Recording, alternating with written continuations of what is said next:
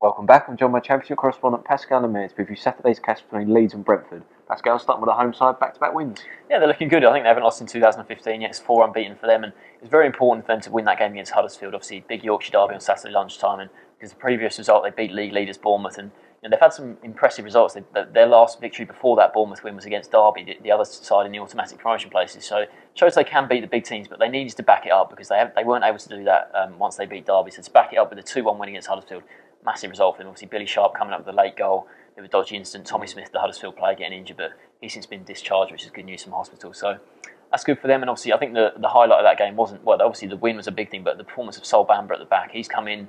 He's got Premier, uh, English experience. Sorry, mm. with um, you know with Leicester City back in the day, but he's been in Italy.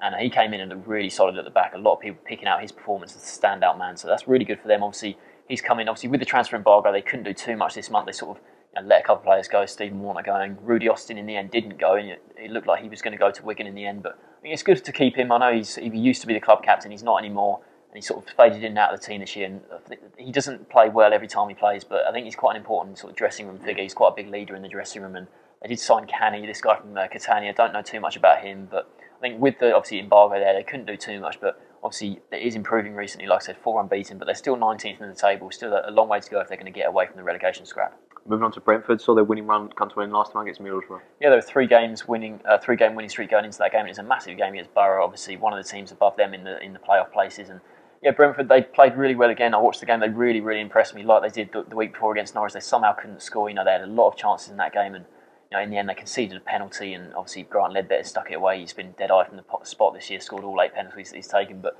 Yeah, I don't think Brentford they'll be too annoyed with that. I mean, they've lost some big games at home in the last month or so. They lost to Ipswich on Boxing Day. That was a big game obviously welcoming Middlesbrough here. So they're down to fifth in the table now, and I think they're sort of five points off the top two. So they're still not that far off. They look okay in the playoffs. I think four points. Uh, they're above four, four points above seventh place. So they look okay at the moment. I mean, they they weren't a bit too busy in the transfer window. They signed O'Connell, a young player from Blackburn Rovers. I don't think he'll be sort of a a regular starter for them. But I think he, Mark Warburton said he's one for the future. And as for Warburton himself, you know, since Redknapp resigned as QPR boss, he's been linked with that job there. But I don't think he'll get it. I mean, I'd be very surprised if he leaves Brentford. Obviously, QPR just down the road from them. It wouldn't be a big change. You know, West London as well. But Tim Sherwood's a big favourite there. So I'd be very surprised if he got that. And I think Warburton will stay. And, yeah, he's done a fantastic job with Brentford. Brentford would be really keen to return to winning ways. Do you think they will? I really do, actually. I think Leeds, even though they're unbeaten in four, they're still sort of uh, a they're not the best team. I think they've got a lot of problems there, team selection wise. But I think Brentford, you know, they've looked, uh, they've really impressed me. I've watched them the last two weeks, been very very impressed. I think they'll get the win here, three two. Sports on for a three two away win.